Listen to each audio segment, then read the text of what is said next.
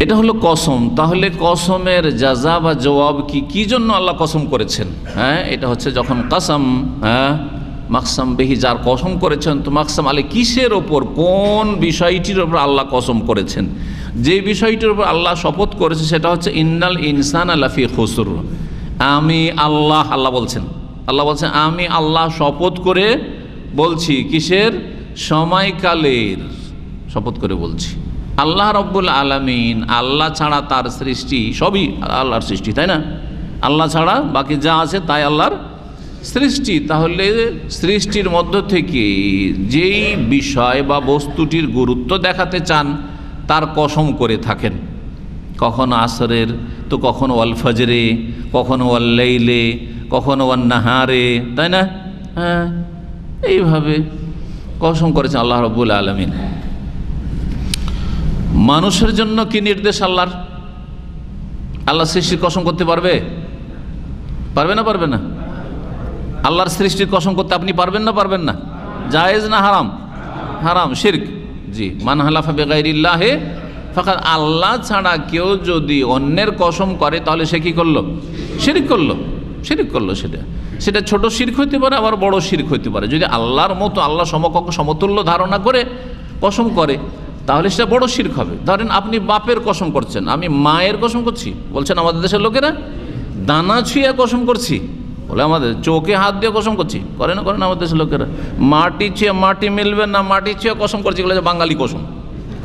এগুলো হচ্ছে আমাদের দেশি কসম ছোটোর থেকে শুনে এসেছি। এসব সিরকি কসম এত ব্যাপক হারে ছড়িয়ে আছে, আল্লাহ হেফাজত করে। দিনের জ্ঞান না থাকলে এইগুলো করতে করতে সারা জীবন কত লোক যে মরে গেছে দুনিয়া থেকে, অথচ মুসলিম। এসব সিরকি কথা বললে সিরকি কসম করে। তো এই যে কসম, এটা ছোট শির্ক হবে যদি আপনার বাপকে, আপনার মাকে, যার কসম করছেন, আপনার দানাকে, রুজিকে, আল্লাহর সমকক্ষ, সমতুল্য ওই রকম না মনে করে ওই রকম গুরুত্বপূর্ণ না মনে করেন। মনে করছেন যে এগুলো কসম করলে জানার নেই। অজ্ঞতার কারণে কসম করে নিয়েছেন তাহলে ছোট শির্ক।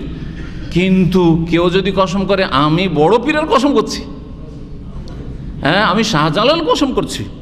আমি খাজা বাবার কসম করছি হ্যাঁ আমি আটরসির কসম করছি।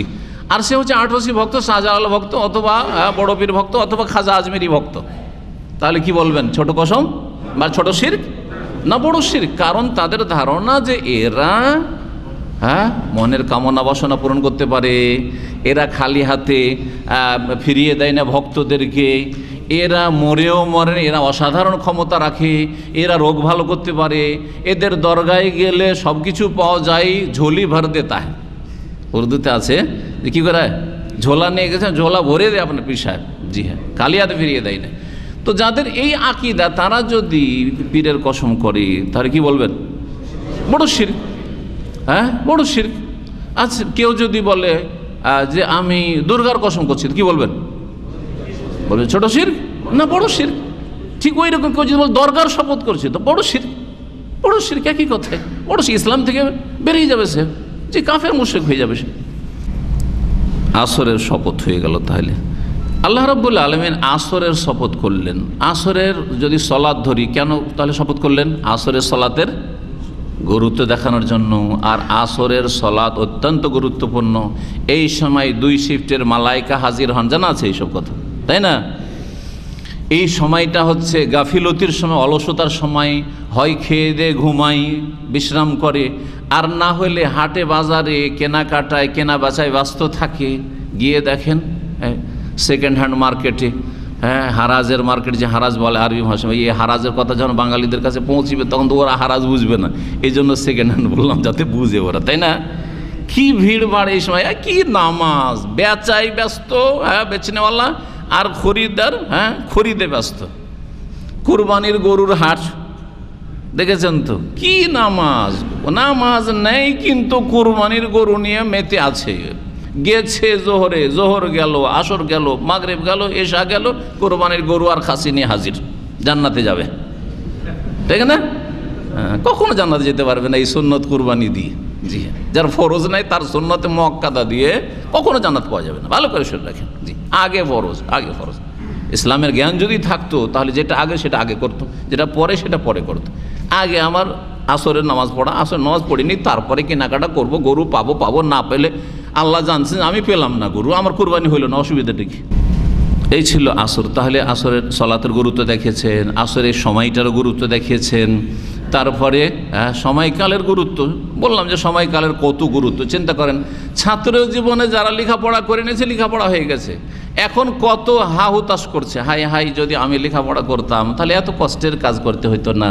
হাই যদি আমিও লেখাপড়া আমাকে তো আমার আব্বা মাদ্রাসে, ভালো মাদ্রাসে ভর্তি করেছেন আমিও যদি হাফেজ আর আলেম হয়ে যেতাম, তাহলে আমিও বড় সম্মানের সাথে থাকতাম। আর বড়ই দিনের কাজ করতে পারতাম। আমার এখন মনটা চাইছে দিনের কাজ করার, কিন্তু আমার হ্যাঁ পেটে বিদ্যা নেই, এলেম নেই। আফসোস হচ্ছে না হচ্ছে না অনেকের। অথচ এই সুযোগগুলি এসেছে এক সময়। তাহলে সময় মানুষকে উন্নত করতে পারে, আর সময় মানুষকে অধপতনে নিয়ে যেতে পারে। সময়ের সারা জীবন অপব্যবহার করেছে। সময়কে পাপে লাগিয়েছে, সময়কে নষ্ট করেছে, সময়কে অন্যায় কাজে লাগিয়েছে, সময়কে হারাম কাজে লেগেছে পঁচিশ বছর, ত্রিশ বছর নামাজ পড়েনি, বেনামাজি হয়ে থেকেছে। তারপরে বার্ধক্যে সে তবা করে নামাজ শুরু করে। সারা জীবন আফসোস, হাই কী করলাম, হাই কী করলাম। কত যে ঘাটতি। ওই লোকটি ওই ছেলেটি পনেরো বছরে নামাজ শুরু করেছে, আমার বন্ধু ছিল। আর আমি এখন শুরু করলাম ষাট বছরে। ওর সমান কি কোনোদিন হওয়া সম্ভব? কখনো সম্ভব না, যতই তবা করেন আপনি। কখনো সম্ভব না। তাহলে এই সময় কত যে গুরুত্বপূর্ণ।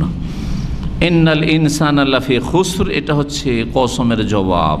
অর্থাৎ শুনে রাখো, এই বিষয়টিকে শক্ত করে বর্ণনা করে আল্লাহ বলছেন, নিশ্চয়ই মানুষ লাফি খুসরিন, ক্ষতিতে সর্বনাশে হ্যাঁ? লোকসানে, যাই বলবেন, খুসর, ক্ষতিতে নিপতিত, ক্ষতিতে নিমজ্জিত। জি হ্যাঁ ক্ষতিতে ডুবে আছে সহজ ভাষায়। মানুষ কিসে ডুবে আছে? ক্ষতিতে ডুবে আছে। ক্ষতি আর ক্ষতি ক্ষতি ছাড়া লাভ মানুষের নেই বললেই চলে। ইন্নাল ইনসান আলাফি খসর।